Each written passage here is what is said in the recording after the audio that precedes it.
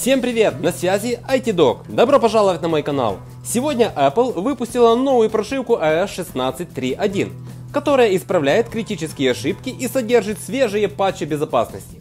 Впрочем, оно и понятно, ведь iOS 16.3 оказалась полна багов и недоработок.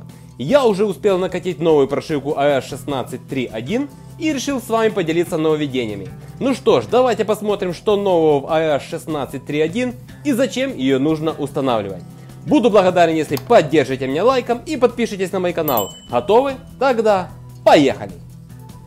Да, друзья, заходите в наш телеграм-канал, ссылку сможете найти в описании под видео. Здесь вы найдете много чего интересного, в том числе решение любых проблем с техникой Apple. Найти iOS 16.3.1 можно в настройках «Основные обновления ПО».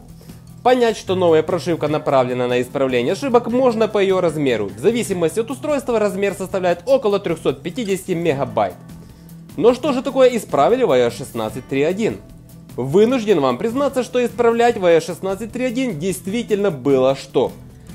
Итак, в iOS 16.3 Apple наисправляла ошибок, в результате чего многие пользователи начали жаловаться на проблемы с iCloud – а именно, не получалось включить автоматическое резервное копирование iCloud на iPhone. А в настройках облачного хранилища могут некорректно отображаться список приложений, которые используют iCloud. С iOS 16.3.1 эта проблема должна уйти.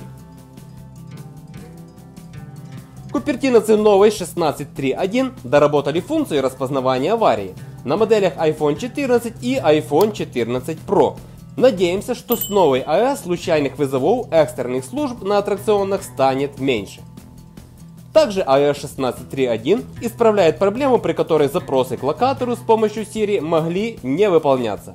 Ну что ж, надеемся на добросовестность разработчиков. Других изменений в iOS 16.3.1 не наблюдается. Возможно вы что-то заметили самостоятельно? Напишите в комментариях.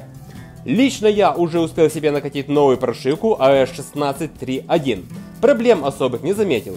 Связь, мобильный интернет, интерфейс работают хорошо. Что касается автономности, говорить пока еще рано.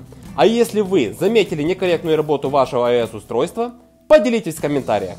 Вот такая она iOS 16.3.1. Пожалуй на этом все. Жмем на колокольчик, ставим лайк. Всем удачи и пока!